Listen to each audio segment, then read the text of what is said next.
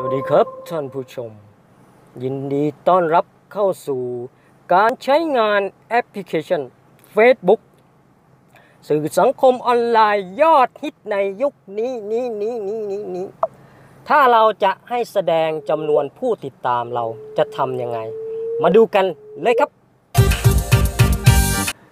พอเราเข้ามาหน้านี้แล้วคลิกไปสังเกตนะครับ มันจะมีจุดนี้ที่เราต้องเข้ามานะครับ จุด 3 ขีดตรงนี้ พอเข้ามาในจุด 3 ขีดตรงนี้ก็ไปคลิกที่รูปโปรไฟล์เรานะครับ คลิกที่รูปโปรไฟล์นะครับ แล้วเลื่อนลงไปที่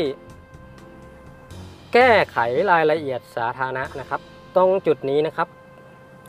แก้ไขรายละเอียดสาธารณะนะครับ กดเข้าไปนะครับแล้วเลื่อนลงมาครับ ตรงจุดหัวข้อเรื่องรายละเอียดนะครับ รายละเอียดตรงนี้นะครับ แล้วไปคลิกหรือไปกดที่แก้ไขตรงนี้นะครับ กดเลย หลังจากนั้นก็เลื่อนลงมาข้างล่างนะครับ ก็จะเห็นกลุ่มคำสั่งตรงนี้นะครับนะครับ กลุ่มข้อมูลตรงนี้ ก็คือผู้ติดตามนั่นเองนะครับ แต่บางคนจะไม่ขึ้นมานะครับ เพราะว่าอาจจะเพิ่งเล่น Facebook แล้วก็ยังกรอกข้อมูลต่างๆ นานายังไม่ครบนะครับ ขั้นแรกเราต้องพยายามกรอกข้อมูลไปก่อนนะครับ แล้วก็เริ่มแอดเพื่อนหัวข้อเรื่องตรงนี้ขึ้นมาก็คือผู้ติดตามนะครับ ถ้าเราอยากให้แสดงทำยังไง กดให้เกิดเครื่องหมายถูกลักษณะอย่างนี้ครับ แล้วมันก็จะมีข้อความขึ้นมาว่า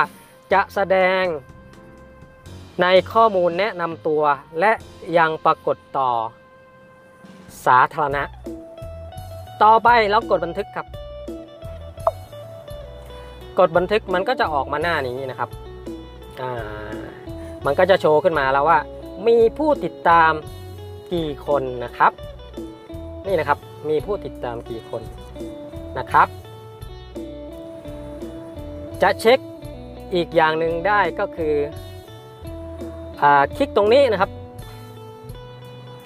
คลิกตรงจุด 3 จุดตรงนี้นะครับเอากดเข้าไป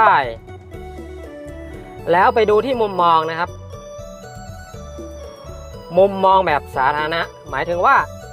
อาจจะมีบางคนมาส่องเรานะครับ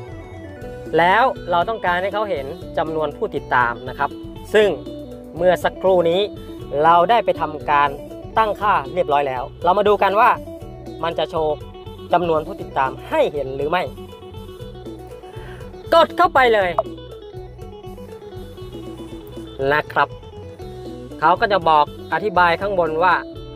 นี่นะครับปึ๊บเนื้อหานี้บนโปรไฟล์ของคุณ